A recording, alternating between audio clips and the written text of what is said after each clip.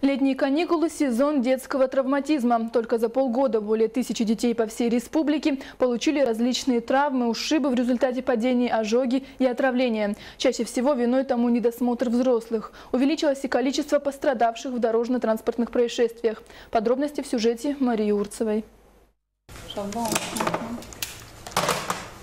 Так, едем на вызов Солдатова 14, травму ребенка.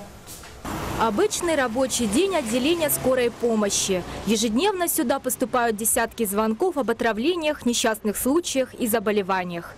Нередкие и вызовы к детям.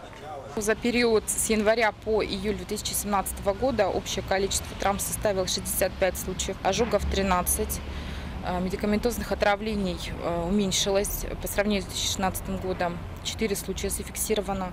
Увеличилось количество детей, пострадавших в результате дорожно-транспортных происшествий.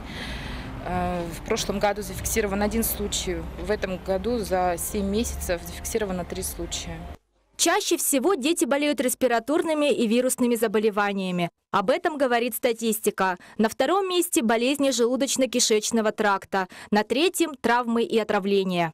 1127 а, произошло у нас, а, а, получили травм дети. Это за полугодие, за 6 месяцев. Это и травмы, ушибы при падениях, это отравление. Происходит отравление лекарственными, химическими препаратами. Очень много действительно ожогов. Поэтому, конечно же, если у вас есть маленький ребенок, так, то нужно быть очень и очень бдительными. За последний год увеличилось количество детей, пострадавших в дорожно-транспортных происшествиях. Только за первое полугодие произошло пять таких случаев. В трех из них виноваты малолетние, перебегавшие дорогу в неположенном месте.